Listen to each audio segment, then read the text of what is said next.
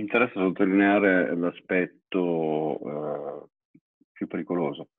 L'idea che la comunità sia una forma di riduzionismo, di riduzione, eh, visto che non va più di moda parlare di massa, non va più di moda parlare di mercati in termini generali, tanto è vero che per molto tempo abbiamo preferito parlare di target piuttosto che di personas, eh, il rischio è di ridurre il concetto di comunità ad una formuletta essa stessa. Eh, la verità è che ci stiamo da troppo tempo allenando a esercitare circuiti corti, a mettere sempre tutto dei pensieri corti, a non, eh, a non metterci mai nella condizione di guardare appunto la complessità e molto spesso anche la complicatezza del fare le cose. Allora, prima di tutto, che cosa significa mettere in comune delle cose? Mm, significa aver bene in chiaro il fatto che in, quest- in, questo periodo, in questo momento, ma è parte di tutta la storia umana, eh, agiamo tutti quanti in uno spazio comune condiviso, sempre.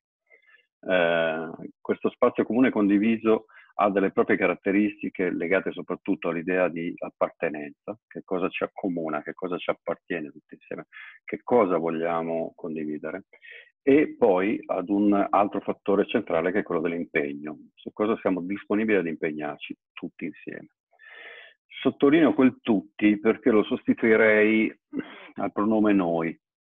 Um, noi è un, già una bellissima idea di collettivo, di agire in comune, ma ehm, la verità della questione è che le comunità sono dei sistemi aperti, ma che coinvolgono tutti coloro che gli appartengono. Quindi, usando una figurazione eh, anche un po' forzata, direi che la prima cosa che dobbiamo imparare a fare è pensare e scrivere in quarta persona.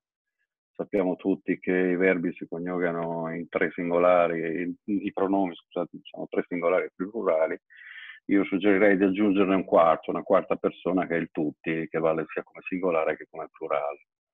Eh, in quarta persona possiamo appunto meglio agire tutti in uno, spazio, in uno stesso spazio comune, possiamo sforzarci di credere in un mondo non ancora presente, possiamo soprattutto impostare quello che figurativamente possiamo chiamare il pensiero delle cattedrali, eh, è ciò che manca di più in questo momento. Il pensiero delle cattedrali era naturalmente una pianificazione ed una progettazione decennale, era però eh, l'immediata costruzione di una piccola cappella per fare in modo che la cattedrale iniziasse subito a funzionare.